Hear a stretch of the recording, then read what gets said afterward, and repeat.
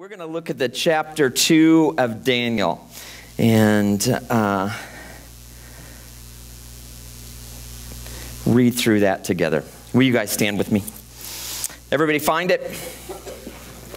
Okay. It says in the beginning of chapter 2 And in the second year of the reign of Nebuchadnezzar, Nebuchadnezzar dreamed dreams wherewith his spirit was troubled and his sleep brake from him. Then the king commanded to all the magicians, the astrologers, and the sorcerers, and the Chaldeans to, for, to show the king his dreams. They came and stood before the king, and the king said unto them, I have dreamed a dream, and my spirit was troubled to know the dream. Then spake the then spake I guess Hello. Then spake the Chaldeans to the king of Syriac, O king, live forever. Tell thy servants the dream, and we will show the interpretation. The king answered and said to the Chaldeans, The thing is gone from me. If ye will not make known unto me the dream with the interpretation thereof, ye shall be cut in pieces, and your houses shall be made a dunghill. But if ye show me the dream and interpretation thereof, you shall receive of me gifts and rewards of great honor. And therefore show me the dream and the interpretation thereof. Verse 7. They answered again and said, Let the king tell his servants the dream, and we will show the interpretation of it. The king answered and said, I know of certainty that ye would gain the time, because ye see the thing is gone from me. But if ye will not make known unto me the dream, there is but one decree for you. Ye have prepared lying and corrupt words to speak before me, till the time be changed. Therefore I tell me the dream, and I shall know that ye can show me the interpretation thereof. The Chaldeans answered before the king and said, There is not a man upon the earth that can show the king's matter. Therefore there is no king, lord, or ruler that asks such things of any magician or astrologer or Chaldean. And it is a rare thing that the king requireth, and there is none other that can show it before the king except the gods, who dwelling is not flesh. You know what's interesting to me, and I'm not finished yet, but we're uh, down in, in, in verse 11. It's interesting to me that sometimes when we're called into account, we act just like these people, right? How could you ask me that? This isn't my sermon at all, but it's good stuff. It's because as I was reading, I was thinking, how many times are we asked or called into account for our actions, and we're like, well, why would you ask me that? And we act like it's it's an un, unreasonable thing for somebody to call us into question.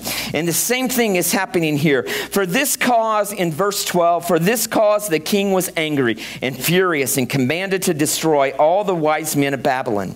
And the decree went out forth that the wise men should be slain. And they sought Daniel and his fellows to be slain. Then, then Daniel answered with counsel and wisdom to Arioch, the king of the king's guard guard, the captain of the king's guard, which was gone forth to slay the wise men in Babylon. He answered and said to Arioch, the king's captain, Why is the decree so hasty from the king? Then Eric, Arioch made the, king, the thing known to Daniel.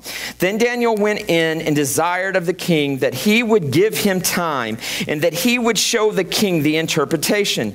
Then Daniel went to his house and made the thing known to Hananiah, Mishael, and Azariah, his companions um, it, that they would desire mercies of the God of heaven concerning this secret, that Daniel and his fellows should not perish with the rest of the wise men of Babylon. Verse 19 Then was the secret revealed unto Daniel in a night vision. Then Daniel blessed the God of heaven. Daniel answered and said, Blessed be the name of God forever and ever, for wisdom and might are his. And he changes the times and the seasons. He removeth kings and he setteth up kings. He giveth wisdom unto the wise in knowledge to them that know understanding. In verse 22, he revealeth the deep and secret things. He knoweth what is in the darkness, and the light dwelleth with him. I thank thee and praise thee, O God for, of the, my fathers, who has given me wisdom and might, and it has known unto me now what was desired of thee, for thou hast now made known unto us the king's matter. Therefore Daniel went into Arioch, whom the king had ordained to destroy the wise men of Babylon He went and said thus unto him, Destroy not the wise men of Babylon, bring me in before the king, and I will show the king the interpretation. Then Arioch brought in Daniel before the king in haste, and said thus unto him, I have found a man of the captives of Judah that will make known unto the king the interpretation. The king answered and said to Daniel, whose name was Belshazzar, Art thou able to make known unto me the dream which I have seen in interpretation thereof? Let's look at verse 27 and 28 very closely. Daniel answered in the presence of the king and said, The secret with the king hath demanded cannot the wise men, the astrologers, the magicians, or the soothsayers show unto the king. But there is a God in heaven that revealeth secrets, and maketh known to the king Nebuchadnezzar that thou shalt be in the latter days. Thy dream and thy visions of thy head upon thy bed are these.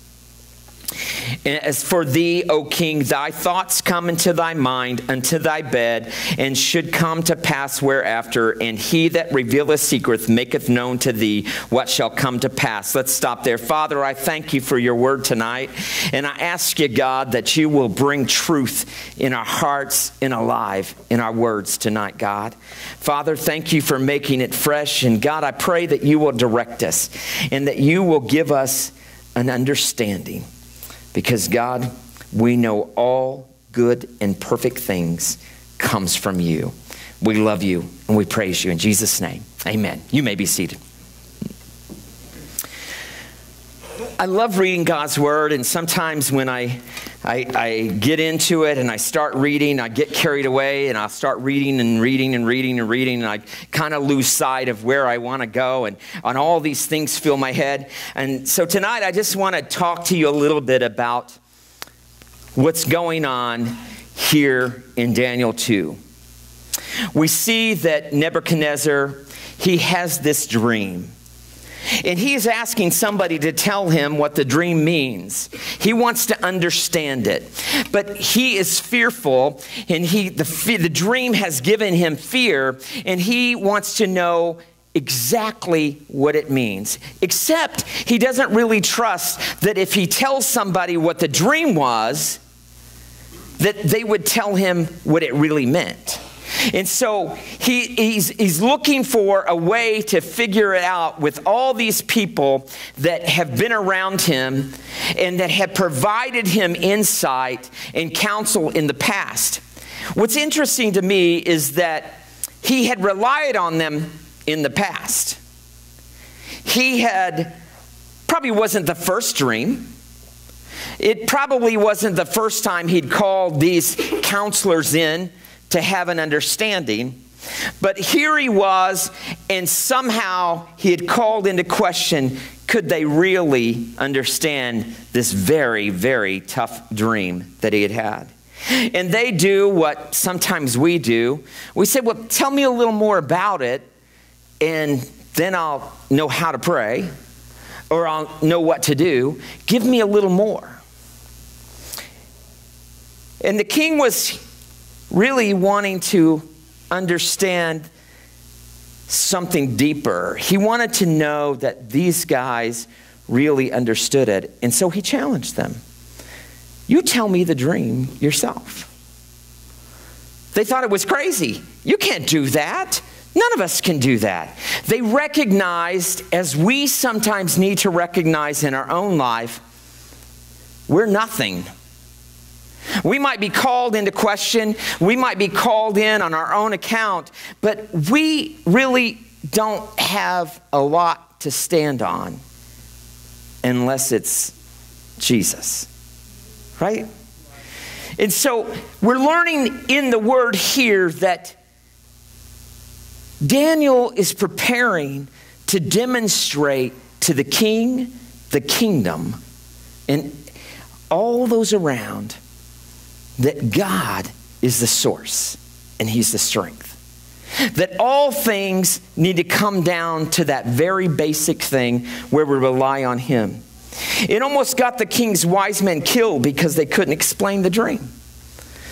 The wise men were called in to, to give account and they couldn't. And it almost cost them their life. I would say sometimes when we can't provide what people need, we may be put in very similar positions. You say, You can't predict that, JD. I can tell you that in my own life, there's been many times that I've been called into question my beliefs or my understanding, and I've had to rely on God to give me the strength for whatever the battle. It wasn't mine. I'm not fighting and warring against flesh and blood. I'm not fighting and warring against people. It's powers and principalities. The, the battle isn't mine. And so I got to rely on God. The stakes were high for these folks. They were going to be killed. He said he was going to cut them in pieces. But Daniel followed the process that can help us. He understood exactly what can happen. Daniel said, Don't panic and then ask why. Ask for more time. Sometimes when things come at us, we need to just take a moment take a little bit of time. We need to take some time and really pray and ask God, what does He want? What is He looking to do in our lives? We need to not get in a hurry, not get panicked about the things that are taking place, but give some time to pray and ask for direction. He gathered prayer partners he said, You know what? Let's come together and let's pray for this thing that God would reveal to us. Prayed for help. Ask God for supernatural help. Worship God. Tell the Lord how great and marvelous He is. He loves to hear it. As a human, I love to hear, Good job, Pastor. Or good job. You know, when I finished lunch this morning, the, uh, the folks said, Man, that was really good pot roast. Made me feel good. It made me feel good. I like to hear that what I've worked hard at means something to somebody. And Jesus, I don't think is any different. He likes for us to tell him, Good job, Lord. Did you see this morning in service that someone was saved, Lord, under anointing and the power of the Holy Spirit? Lord, good job. Thank you, Lord, for letting us be a part of that. I've been thanking Him all day long for the power that was in this place this morning, the power that I knew would be here tonight. I was saying, Lord, it is great to trust you, it is great to be in your presence. Tell Him Use what you've learned to save others. Learn what you've been through, take those things and help people understand. Then God showed up. Then Daniel used the opportunity to point everyone to God. And that's the key. Is what will we do with the things that God has brought us through? Will we point the credit to our Lord? And will we use every opportunity to show someone else Jesus? Will we take the opportunity of whatever that Lord has brought us through to show people that God is mighty and that He has the power to break the strongholds that we talked about this morning, and He has the power to set us free. And when people see us free, then they will say, I want a part of that. If people see us all bound up, and worried about what might happen to us. We may be cut into pieces because we may not have all of the answers, and we get scared and we get worried. We're not showing people the power of our God. Because if you think our God was worried about Nebuchadnezzar's dream, he was not. He knows everything from the beginning to the end. He's not worried about things that happen in your life. He's not troubled by some disappointment you experience. He's not confused by it. I loved in the scriptures where it says that he appoints kings and he takes them down. He sets up kingdoms and he brings kingdoms down. He changes things. Our God is seasonal. There are things that God will do for a period of time. Have you ever been there and you feel God's presence so strong? I mean, it was good today, amen? It was good. It was good in here, and you could feel it. But you know what? My God is the God when you cannot feel it. There are times and the power is so strong, and then there are times when God is just silent. And you're crying out, and He's saying, Trust me. Trust me and know that I am God. And so I, I, look at this and I think, well, God, let's put this in perspective. You have the ability to do all things. My job is to point people to you. My job is to remind people that it's not through our own power. It's not through anything that we have done, but it is the power of God at work in us and he should be lifted and glorified. The Bible says that Daniel told the king, There are no wise men, there's no musicians, there's no magicians. Eh, there's no fortune tellers who can reveal the king's secret. But there is a God in heaven who reveals secrets and has shown Nebuchadnezzar what will happen in the future. Daniel wanted Nebuchadnezzar to know that God understood his dream and that God had given him something that would remind him and give him a vision of what was to come. Daniel understood it. Now I tell you your dream and the visions you saw as you lay on your bed. And we see it. Daniel didn't take credit for the amazing answer to get the king's dream. Daniel was the only one in the entire kingdom that could do it. He was the only one that was going to be able to interpret this dream. He was the only one that was able to set the Chaldeans free and to keep them from being cut to pieces. It would have been very easy when God uses us to point to ourselves, to pat ourselves on the back. I've told you guys before, one time when I was having a little trouble in church, I, I decided, well, Lord, if this is what I'm going to walk through, me and my big bucks, we're out of here. And you know what he said to me? I don't need your big bucks. You know what I'm going to do? You think you're so big and so important? I'm going to bring 10 people who does more than you've ever done in this place because it doesn't rely on you. That's how God works. We're not going to hold God hostage. We're not going to put him hostage to us. He has the ability to look at it and say, I know what you need, and I know what the future holds. And he's saying, Trust me and know that I am God. He knew God had given him the answer, so he was honest about that.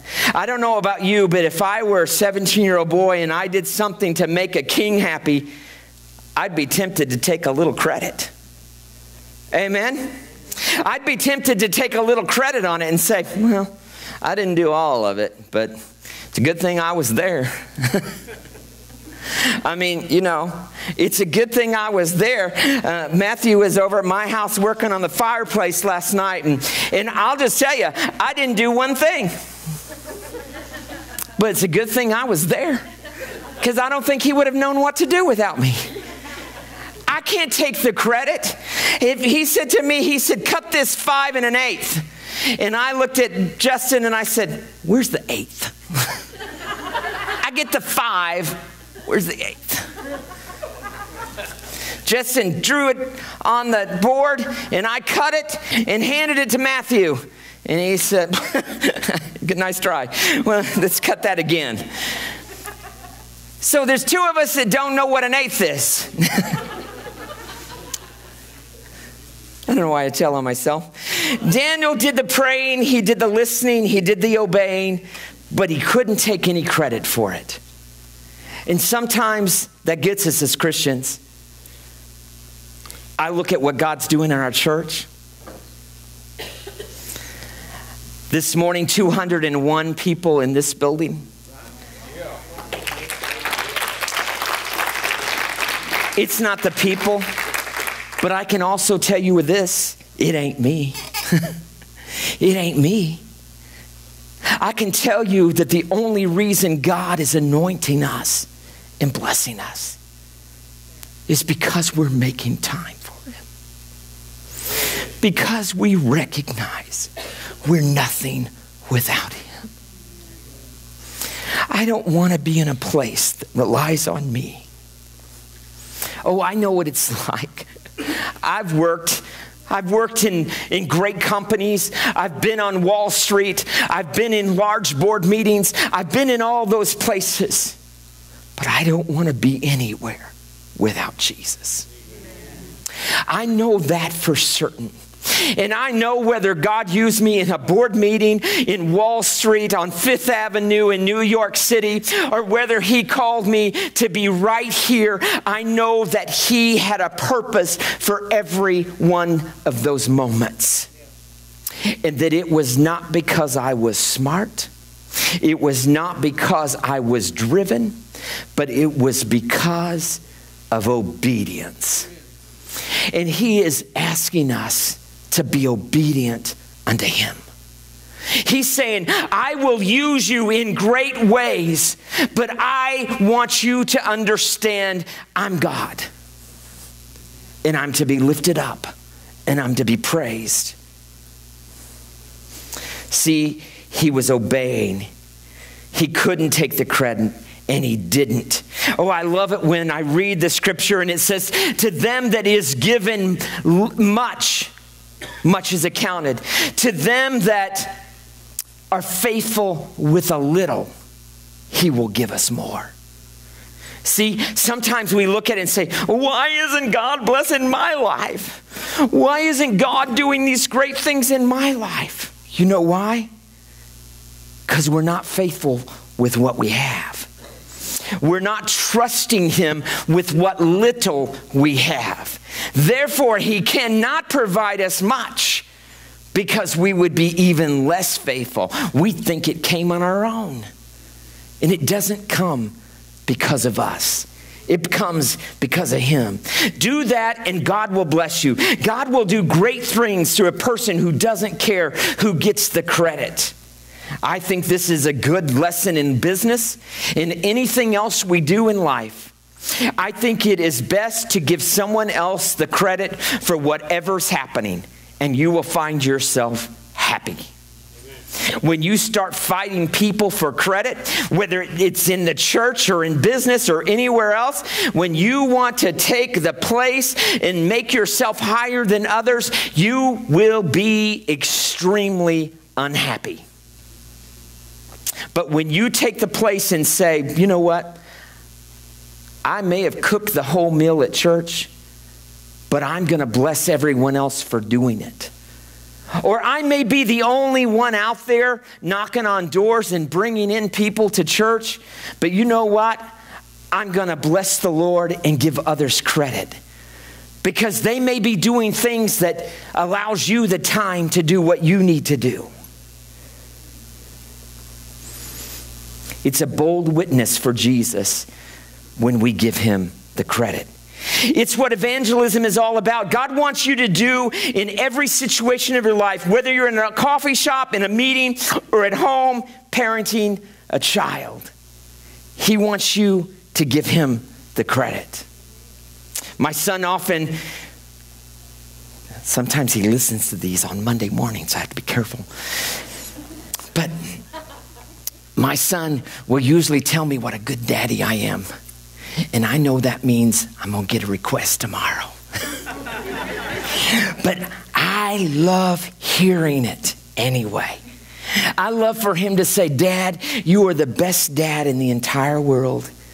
And I usually respond with, Son, I know God has given me great strength to be your daddy. I want him to realize that if there's any part of me that is good, it is because my Father is supplementing for my weaknesses. Because when I am weak, He is strong in my life. That's what I want. Read a bit further in Daniel 2 and you will see how this story turned out. The Bible tells the entire, Dan, tells the pagan king, uh, uh, and Daniel was able to speak to him and said, Truly, your God is the greatest of gods, that the Lord over kings, a revealer of mysteries, for you have been able to reveal this secret. See, Nebuchadnezzar heard from Daniel, and it was confirmed in him that Daniel knew. And because of that, Daniel didn't take credit, he gave it to the Lord. And therefore, Nebuchadnezzar recognized the power of our God. That will happen in our lives if we will just release the credit to our Lord and say, Lord, whatever good thing is in me, it's because of you. If it's your talent, I've met a lot of talented people. I'm not one of them, but I've met a lot of them. And I'll tell you, the ones that have stuck in my mind, who mean the most to me, are the ones who say, It's not me, it's Him. It's Him. It's Him. I complimented someone this morning on the work in the service. And what stuck out to me is my response back was, We serve a mighty God. It said, I'm not taking credit, it's Him. He's at work. You know what it said to me? It said, You're a humble servant. You're a humble servant that you would give your master the credit for the moving, for what he's doing. You see, the pagan leader acknowledged the true creator of the universe. When you spend your life pointing people to God, miracles will happen in your life. Great things will happen when you point them to Jesus. Describe what you've learned from someone and tell them, tell them what you've gone through and explain to them how you've relied on the Lord to help you through something. Share your experiences. Sometimes we get embarrassed and we think, they'll think very little of me if I don't take credit for this. In the corporate world, it's what eats the corporate world up. Because if something great happens and, and you experience a great windfall in your budgets or you have a great successful year, you want to take credit for it, and all your peers want to as well, and therefore it keeps you at each other's throats. It's very revealing when you speak to someone and say, Man, you contributed greatly to the success here. You did a, a good thing helping me. You did a good thing, and because of that, it was successful. Our pride sometimes keeps us from pointing people to Jesus. Our pride sometimes takes control of us, and we don't give the credit where the credit belongs. I don't care how talented or how great you may think you are. There is someone God has prepared to fill your place. There is someone who God is using in a mighty way. And when you fail to give him the credit for what you have accomplished through him, he will set up other kingdoms because our God is not mocked. And our God will use those who give him glory in him alone. Will you bow your heads with me? Father, I love you for your word. And Lord, I'm thankful that I didn't have to be a great orator to, to be able to read it and for it to mean something to our hearts. I'm thankful, Lord, that every time we open these pages and we read your word, God, that you bring it to life in our hearts. Thank you for your word tonight, Lord. And I know, Lord, that every great and perfect thing that you are doing in our midst, all credit belongs to you. You are mighty. And I thank you, God. I thank you for your enduring love. I thank you for your patience, Lord.